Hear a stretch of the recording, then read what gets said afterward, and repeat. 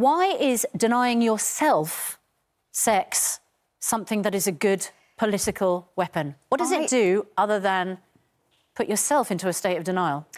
Well, I think well, the point of what she's doing is basically she has made a really provocative statement. She mm -hmm. has said, um, you know, until women have the right to decide whether or not they give birth, then the only way that they control that is by not having sex. So she's made a Why really is that the only way they control that? Well, Surely campaigning against the law is, to, is the way to control that. This is a campaign, isn't it? This is an act of activism. This is to provoke a debate. This is to get the world to talk about a really serious, important issue.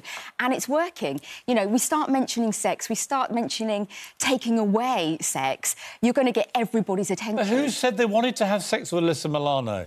Right, I think she's a total Trump loathing maniac, right? But I wouldn't go near her. The idea that somehow we're being unilaterally banned, the male race, from the pleasure of sex with Alyssa Milano. I don't want to have sex with her. So her, how dare she launch a sex strike that actually we haven't been included in? But this is the thing. I think it's being received as if it's this sort of male-female um, split, as if it's against men, but it's not. It's about women it's not against men. right. It's about women having the right. So if every woman stopped having sex tomorrow, that wouldn't be an anti-men thing.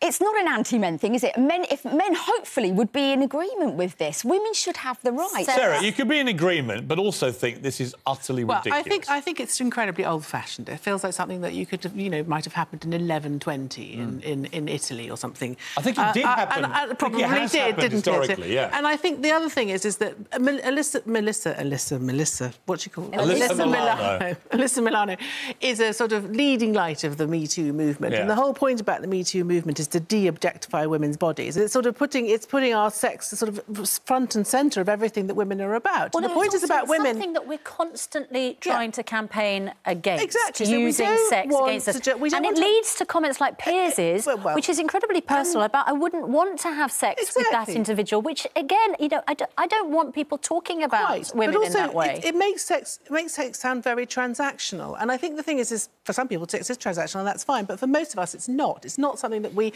use as a weapon. It's mm. weaponising sex, and it feels it feels like the, you know the point is that women now have, have thousands of options to have their voices heard. Mm. You know, we, we we we got the vote, we can do anything we want. There is one point, Sarah. I would say. To do I, mean, I totally agree with you, but what, and I think it's madness. However, Melissa, you raised an interesting point. Uh, I think, which is.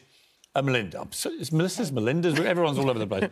Um, is that actually, by saying something ridiculous like this, a sex strike uh, actually, it has got us talking about it this That's morning. The point, and actually, what, what Georgia and these other states are now is, trying to do. We're not talking about the abortion law. We're no, talking but about in a way, that's sex. also coming as part of the package. I mean, there might be some method to the madness. Yeah, I think there is. I think the end justifies the mean. I mean, our, our are people going to suddenly stop having sex? Is that going to change the law? No, of course not. But the debate might. The fact that we're all talking about it, the fact that she's caught our attention and she's done it in a, in a way that, um, I mean, she, if she just talked about the fact that uh, uh, that abortion um, and taking away those rights was an issue, then that wouldn't have gone. Melinda, how attention. long would you be prepared to?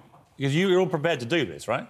Well, I didn't say I was prepared to do this. Right. I said I think that the, the, what she's done. How, far, how long would you go on strike? So it's just lip service, then, isn't it? It is lip service, but to a really important cause. Let's also, not forget, women are, are, being denied the right to choose whether they have a baby. Which is That's really important. I, am afraid that this lot realises I think it's like it depends who's going on strike. I think if I go on a sex strike, no one is going to care. But I think if I Melinda does, well, your then husband that might would, actually have a Sarah, your husband would care. That might have a materially bad effect on the mental health of actually one of our senior politicians at a very difficult time for the country. Sarah Vine, if you don't so know, don't is married to Michael Gove, the Environment Secretary. Um, well, ladies, thank you very much. It's a very interesting debate.